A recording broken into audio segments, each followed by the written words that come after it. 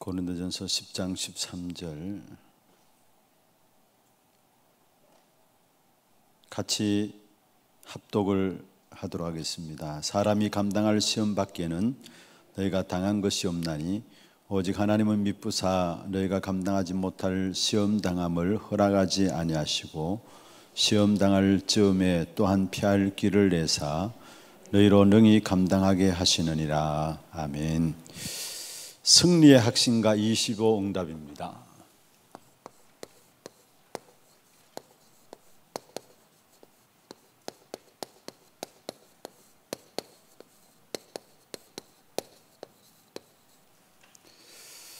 어, 먼저 우리에게 각인된 것이 무엇이냐 따라서 응답은 오게 되어 있습니다. 어, 그리고 뿌리 내리는 데 따라서 이게 열매가 맺혀지고요.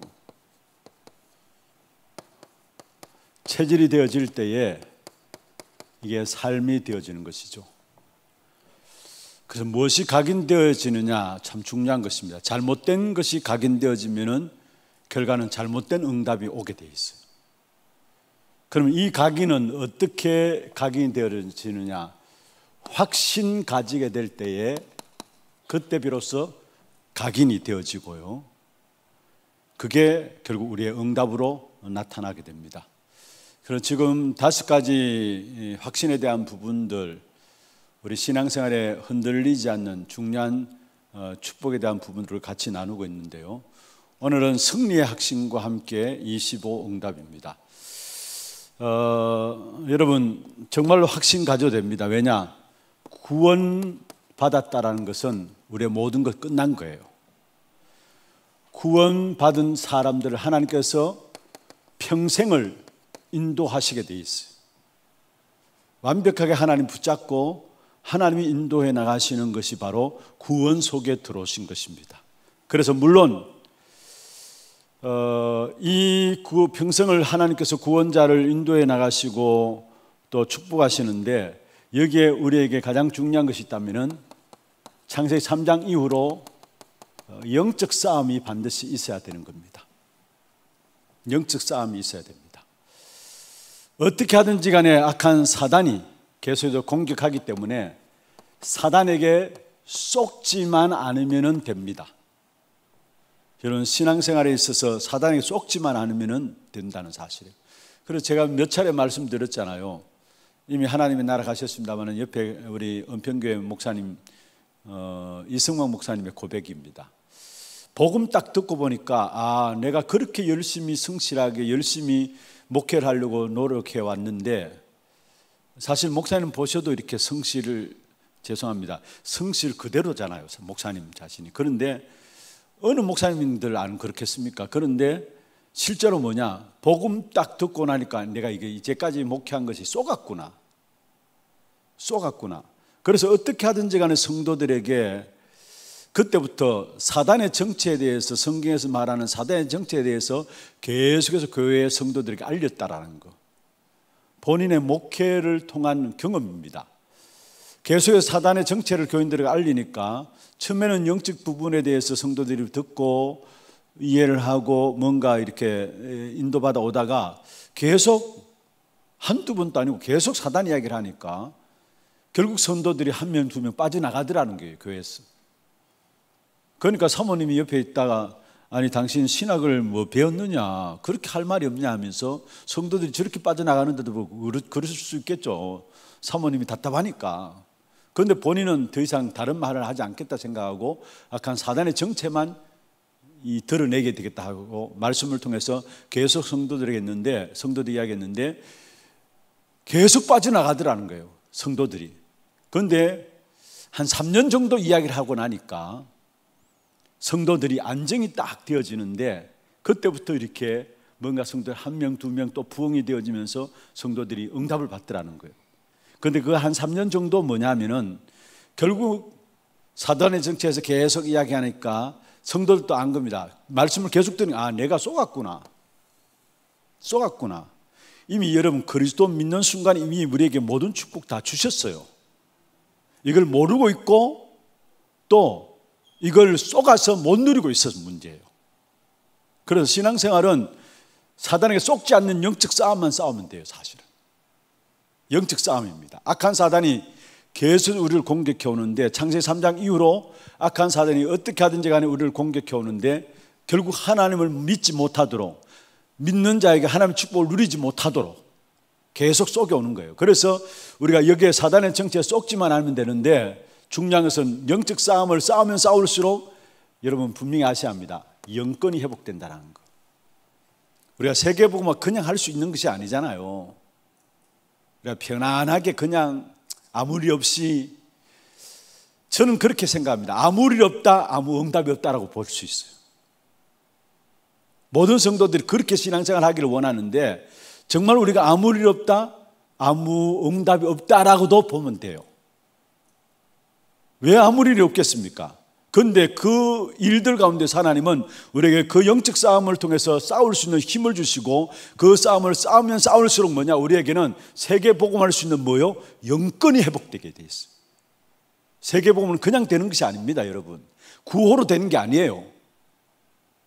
많은 문제와 사건과 일들 통해서 하나님께서 영적 싸움을 싸우게 하고 그를 통해 영적인 힘을 회복하게 함으로 말미암아 나중에는 그 어떤 공격에도 흔들리지 않는 그런 축복된 믿음 가지고 던들어서서 그 믿음으로 기도할 때 하나님께서 이루어지는 하나님의 역사들 그게 우리의 현장 또 우리의 산업 우리의 더 나아가 지역 세계 복음화 역사가 이루어지는 것입니다. 그래서 어제도 말씀드렸죠. 내게 있는 고난과 고통과 예수 믿는 이유들 때문에 핍박당하고 모함 당하는 모든 것들 그게 응답이로 생각하시면 돼요. 그걸 응답으로 감사하시면 돼요. 하나님이 여러분에게 하나님 자녀된 여러분에게 괜히 골탕 먹이기 위해서 어려움들 주고 핍박 주고 문제 주고 합니까? 아니잖아요. 하나님 여러분을 하나님 자녀 삼아 놓고 괜히 힘들게 하고 망하게 하기 위해서 시험 주고 어려움 주고 모함 받게 하고 핍박 당하게 하고 아니잖아요. 결국 하나님이 여러분을 영적인 힘을 가지고 세상 정복할 수 있는 사람들로 하나님께서 여러분을 이끌어 가시는 겁니다. 그 속에 우리의 문제들이 있어요. 그 문제를 제대로 볼 수 있어야 합니다. 그리고 실제로 내 자신이 질그릇임을 알고 질그릇이 깨어져야 우리 안에 보배가 드러나는 것처럼 우리의 많은 문제들 통해서 우리를 깨는 거예요, 사실은. 하나님께 우리를 깨는 거예요. 너로서는 안 된다라는 거. 그래서 내가 그리스도를 주셨지 않느냐? 오직 그리스도여야 된다라는 거. 그걸 깨닫게 하기 위해서 우리 자신들은 문제와 사건과 일들 통해서 자꾸 깨 나가는 거예요. 왜냐? 우리 안에 그리스도만 드러나면 되니까. 그리스도만 나타나면 되니까. 그러면은 보세요. 이 평생을 구원받은 자를 하나님께 인도하시는데 이 인도받는 가장 중요한 하나님께서 하나님 백성들 주신 것이 바로 예배입니다. 하나님의 인도받는 가장 정확하게 하나님의 인도받는 길을 하나님의 백성들에게 주셨는데 그 길이 예배입니다. 그러면 예배는 지난주 핵심에 여러분 기억하시길 바랍니다. 로마서 12장 1절에 보면 너희 몸을 하나님께 거룩한 산 예배는 너희 몸을 거룩한 산 제사로 드리라. 이것이 너희가 드릴 영적 예배니라 했어. 무슨 말입니까? 우리가 예배의 산 제사란 말은 무엇이냐? 핵심 때 중요한 말씀 하셨습니다. 주일날 우리가 받는 말씀은 하나님의 언약을 받는 예배고요. 말씀을 받는 예배, 하나님의 언약을 받는 예배고요. 월요일부터 오늘부터 여러분 살아가는 한 주간의 삶은 이 언약의 성취를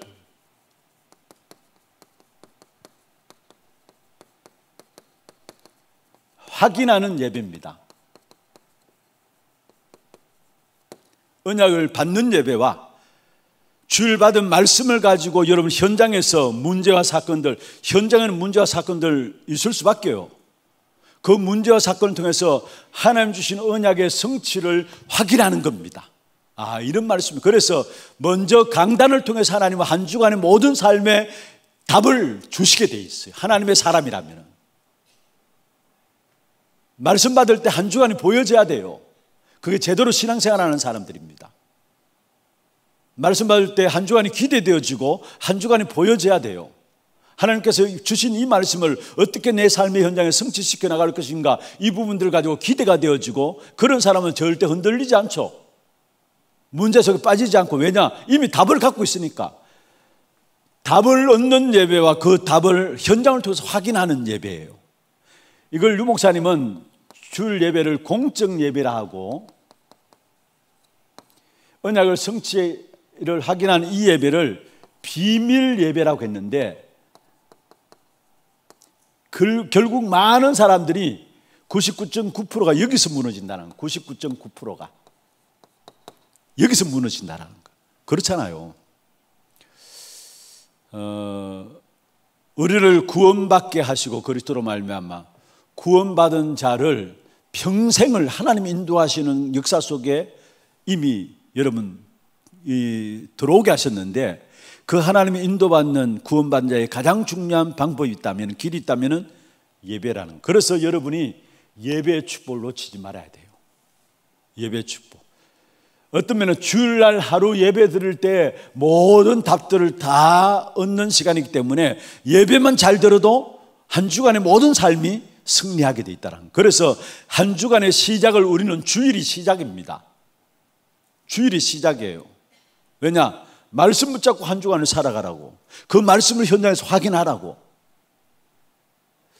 정말 우리 자신들이 여러분, 건찰분 여러분들이 이 축복을 누려야 이 축복이 우리 구역에도 같이 전달되게 되어 있고 구역 식구들도 이 속에서 결국 인도받고 승리하게 되어 있어. 이게 안 되니까 우리의 현장에서 당장 현장 나가면 삶이 어떻습니까? 염려 올 수밖에요. 하나님의 자녀로 평생 인도받아야 될 축복 가운데 세워주셨음에도 불구하고 이 인도를 못 받으니까 현장에는 창세기 3장 현장입니다. 그러니까 끊임없는 염려들이 우리 안에 올 수밖에 없어요. 그럼 염려하면 염려로 끝나느냐, 여러분? 결국 염려가 쌓이고 쌓여서 쌓여서 불신앙이 되어지고 어제 말씀드렸자 저런 부분에 불신앙이 되어지고 그 불신앙은 결국 뭐 합니까? 결국 인본주의를 쓰게 되고 인본주의 쓰지 말라 쓰지 말라 해서 인본주의 안 쓰는 게 아니라 염려가 쌓이고 불신앙이 되어지면은 자기도 원치 않게 인본주의 써야 돼요. 그게 사는 길이니까. 사는 길이니까. 결국 인본주의 쓰면 쓸수록 뭐냐? 결국 우리 인간에게는 영적인 존재인 하나님만 바라봐야 되는 존재인데 하나님과의 관계를 놓쳐버렸기 때문에 영적 문제가 올 수밖에 없는 거예요, 사실은. 영적 문제 올 수밖에 없는 거예요. 그래서 성경에 보면은 욥기 3장 25절에 욥이 고백한 것이죠. 무서워하는 것, 두려움하는 것, 그게 내 몸에 내게 임했다. 늘 자식들 놓고 두려워했던 것. 신앙생활에 빗나갈 것이 아닌가 그 부분들 놓고 늘 두려워했던 것 염려했던 모든 것들이 무서워했던 모든 것들이 누구에 내게 내 몸에 임했다 했어 요한일서 4장 18절입니까? 사랑 안에 두려움이 없다 했어요 사랑은 두려움을 내어 쫓는다 했어요 정말 우리가 그리스도의 사랑을 잊게 되면 그 두려움이 없게 됩니다 염려가 없게 돼요 사랑은 두려움을 내어 쫓는다 했어요. 그런데 두려움에는 반드시 뭐가 따르느냐? 형벌이 따르느다 했어요. 두려움에는. 늘 여러분 두려움에 쌓여보세요. 반드시 여러분 그 결과는 나오게 돼 있어요. 그래서 우리가 참 복음 가지고 평안할 수 있다는 거 이건 엄청난 축복이에요. 어마어마한 축복 가운데 이미 서 있는 거예요. 그러면서 베드로전서 5장 7절 8절에 말씀하고 있죠. 염려하지 말라 했어요. 염려를 죽게 맡겨버리라 했어요. 염려하게 될 때 8절에 뭐라 했습니까? 너희 대적마귀가 우는 사자처럼 두루 다니며 삼킬 자를 찾는데 너희 대적마귀가 염려할 때 공격해 온다라는 거. 왜 염려가 올 수밖에 없는가를 아셔야 돼요. 염려가 올 수밖에 없는가? 구원받은 하나님의 자녀로 우리를 평생 인도한 속에 하나님께 책임지시는 속에 우리 인생이 있는데 이것을 날마다 예배를 통해서 누리지 못하니까 우리는 어쩔 수 없이 염려 가운데 살아갈 수 있어요. 수많은 문제들 부딪히는 것이 현장이에요. 현 현장에서 문제를 당하면 당할수록 이런 말 저런 말 들으면 들을수록 그게 전부 다 우리에게 영향을 주게 되고 결국 그 속에 말을 들으면 들을수록 뭐냐 하나님의 말씀이 내 마음에 잡혀야 되는데 세상 말 사람들 말에 듣기만 들으면서 뭐, 뭐가 생기느냐 염려가 생길 수밖에 없어요 사실. 그런데 많은 성도 이렇게 살아가요 결국은. 어, 우리에게 정말 회복되어야 될 중요한 축복된 예배. 지난주 핵심에서 나왔던 말씀이죠. 산 제사. 언약의 말씀을 받는 예배와 함께 한 주간 삶이 그 언약의 성취를 확인하는 언약의 성취를 확인하는 예배. 그런 말미암아 진짜 여러분의 생애가 하나님의 인도하신 가운데 들어가는 그런 축복을 누리게 되기를 주의 이름으로 축원합니다. 그러면 본론으로 들어가서요. 오늘 무엇을 확신해야 되는 부분들인가라는 것인데요.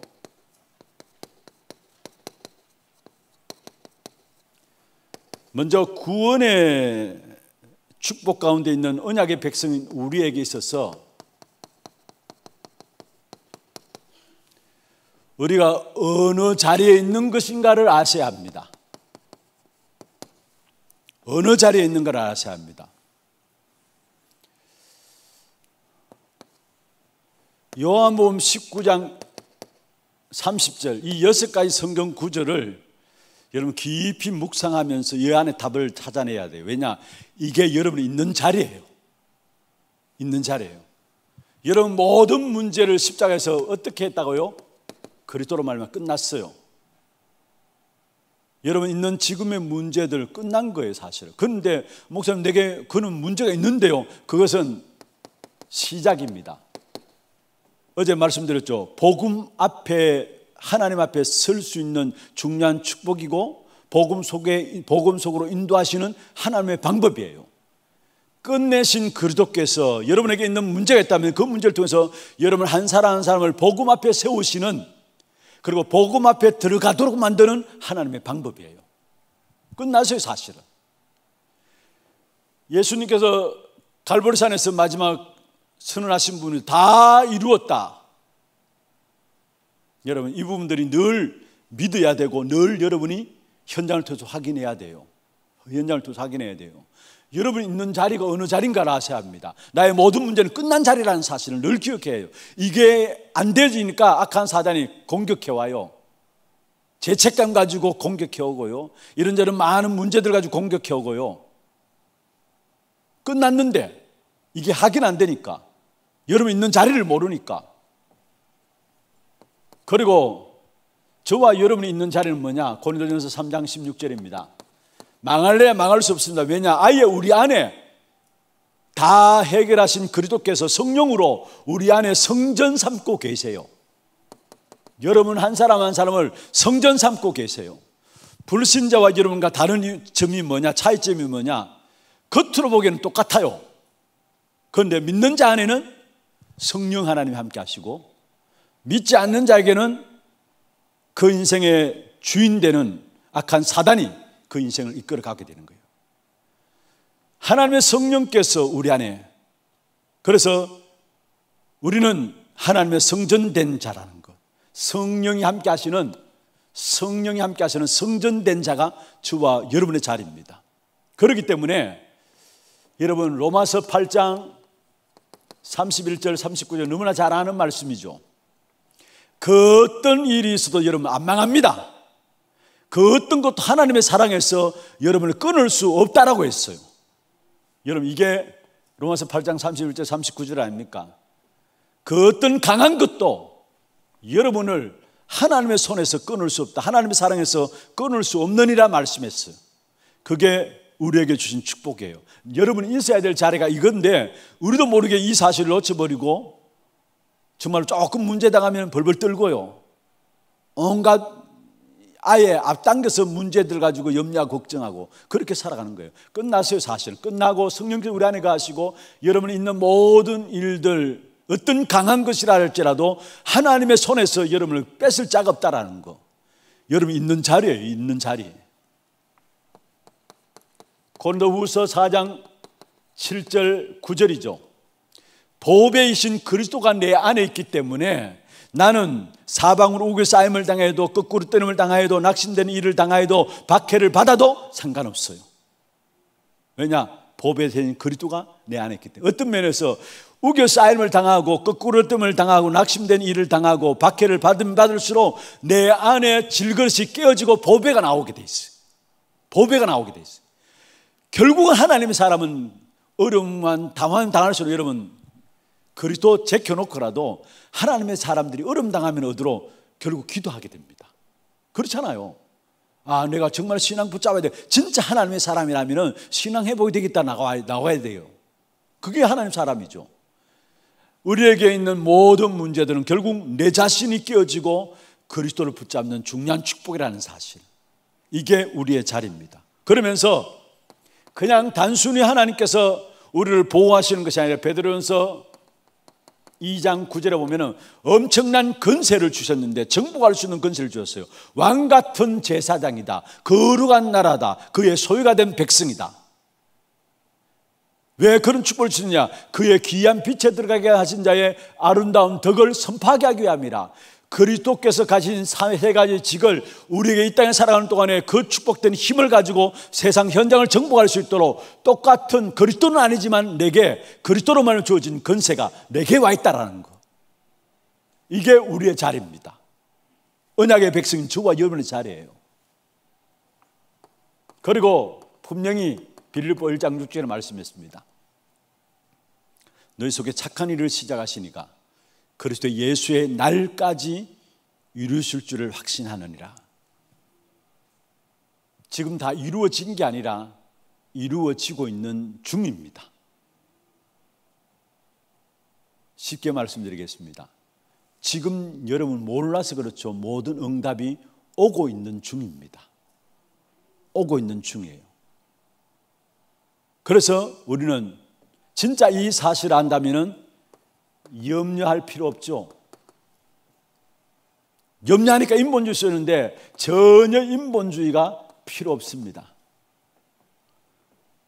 여러분, 지금 당장 이루어지지 않았다 할지라도 분명히 이루어지고 있는 중이에요.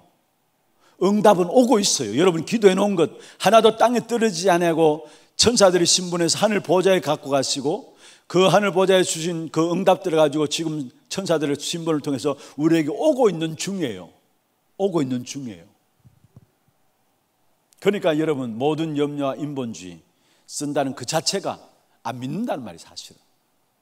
그래서 중요한 건 딴거 아닙니다. 여러분 언약의 백성으로 정말 우리에게 주신 393 기도 393 기도 이 축복을 누리면 돼요. 두 번째입니다. 어, 정말로 이 축복된 비밀들을 가지고 누리고 있으면 절대라는 것을 보게 됩니다.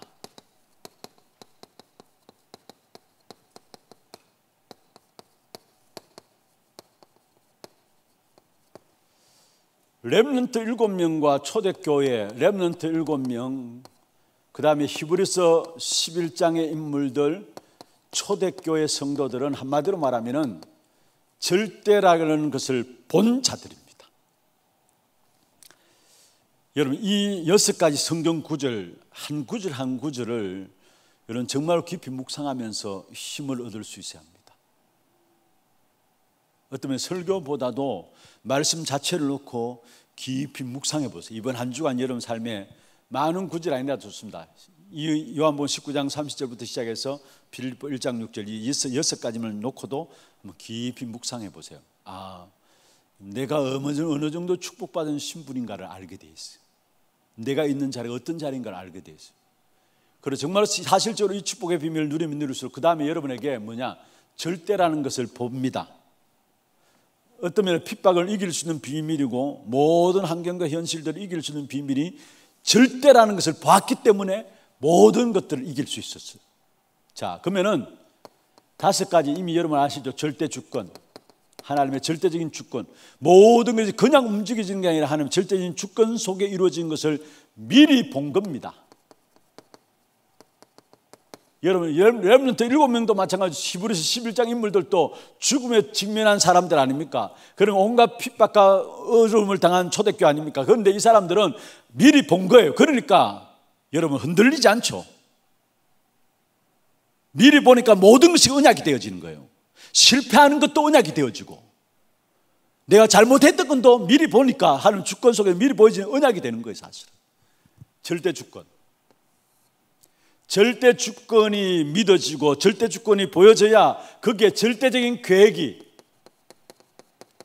발견되게 되어 있어요. 아, 하나님의 절대적인 계획은 이것이구나. 절대 주권 속에서 나오는 절대 계획입니다. 절대 주권 속에서 절, 나오는 절대 계획. 이 사실을 이들은 이미 미리 가졌습니다. 하나님이 가진 절대 계획을 이들은 미리 가졌습니다. 그리고 절대 계획이 속에 있으니까 주어지는 말씀을 통해서 절대적인 언약이 붙잡혀지죠.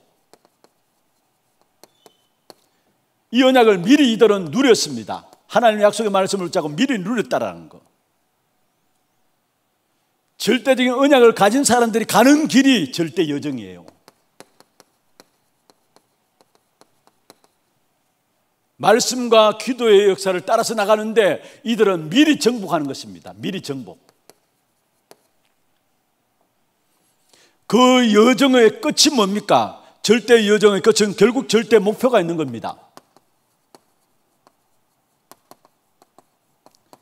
이 사실은 미리 성취되는 사실을 본 겁니다.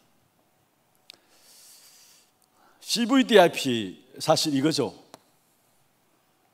그래서 여러분 보세요. 그냥 이해를 하지 마시고 우리의 가장 중요한 것은 절대 주권 그 속에서 하나님의 절대적인 계획, 절대 주권을 가지고 하나님께서 역사를 움직여 가시니까 보여지는 것이 절대 계획이 그 속에 발견되게 됩니다.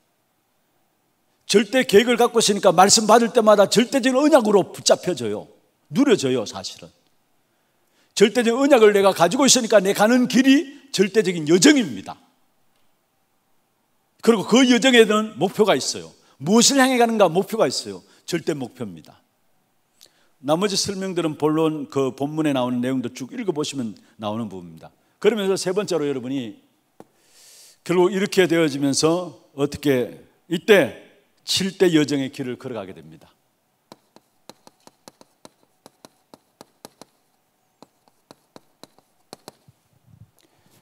이 축복 가운데 내가 서게 되니까 우리가 7대 여정의 길을 걸어가게 되는데 첫 번째 성삼위 하나님으로부터 시작하여 눈에 보이지 않는 성삼위 하나부터 시작하여 보좌와 함께 시대를 살리는 능력으로 역사하시는 이 축복된 역사. 이 길을 걸어가게 되는 것이고요. 그리고 세상을 이길 수 있는 또 세상을 살릴 수 있는 귀중한 열 가지 비밀.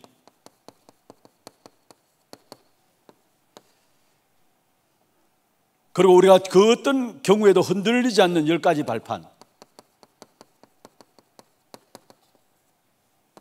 그 어떤 세상 분위기도 괜찮아요. 그 세상 분위기를 바꿀 수 있는 아홉 가지 흐름.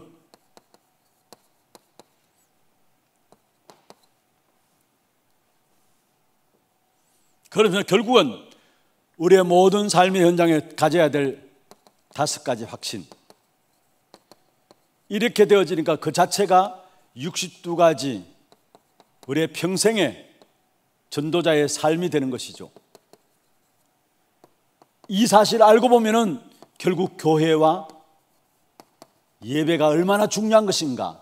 이 교회와 예배는 보좌의 캠프가 이루어지는 것이 바로 교회와 예배라는 것. 일곱 가지 여정의 길입니다. 참 중요한 것이죠. 그러면 결론입니다.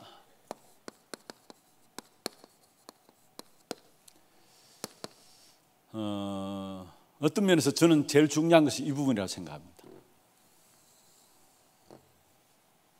이 부분이에요. 이 사실 되어지면 저절로 이 부분들이 보여지고 이 길을 가게 됩니다. 이 길을 가게 돼요. 그러면은 여러분 어떤 것을 하더라도 결론적으로 여러분 237가 맞아야 합니다. 237가 여러분 학업도 산업도 모든 일들을 2, 3, 7과 맞아야 돼요. 이때 보좌의 축복이 나타나게 돼요. 237과 맞아져야 이 축복의 비밀을 붙잡은 자에게 보좌의 축복이 임하는 거예요. 나타나게 됩니다. 그러면서 여기에 사실은 어, 여러분 우리 안에 참된 빛 대신 그리스도로 말미암아 이 빛을 전달하는 기주한 축복된 역사가 일어나게 되는데 성경에 보면은 일곱 가지 재앙의 역사 그냥 일어난 것이 아니죠. 결국 이 복음의 비밀을 놓쳐버렸기 때문에 하나님께서 복음을 증거해야 되니까 복음이면 되는데 복음을 놓쳐보니까 복음을 증거해야 되니까 일곱 가지 재앙을 통해 가지고 복음이 흩어지도록 만들었죠. 그러면 실제로 뭐냐? 지금 우리의 현장에는 내 피림 운동을 통해서 3단체가 완전히 그리고 실제적으로 우리 모든 현장 속에는 지금 어떤 면에서 흑암의 문화가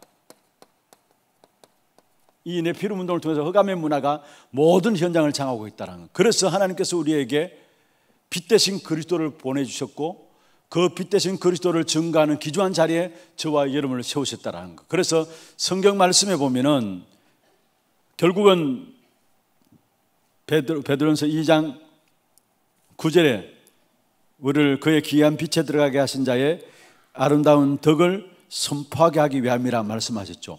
빛 대신 그리스도를 선포하는 기존 이 빛이 임해야 재앙을 막을 수 있기 때문에. 그래서 지금 일곱 가지 재앙은 그냥 일어난 것이 아닙니다. 하나님께 복음을 주셨는데 그 복음을 말하지 않으니까 일곱 가지 재앙을 통해서 강대국을 이용하고 결국 노예되고 포로되고 속국되어서 그 속에 들어가서 이 복음 빛 대신 복음을 전하게 해서 결국 재앙의 문제를 해결했다는 거예요. 일어나는 재앙을 하나님 그냥 두지 않는다라는 거. 그래서 하나님의 방법이 뭐냐? 재앙을 일으켜서 빛 대신 그리스도 복음이 증거되도록 하셨다는 거. 지금 우리 운동, 우리 현장에 일어나는 일들입니다. 이 배후에는 창세기 3장과 6장과 11장이 있는 것이죠.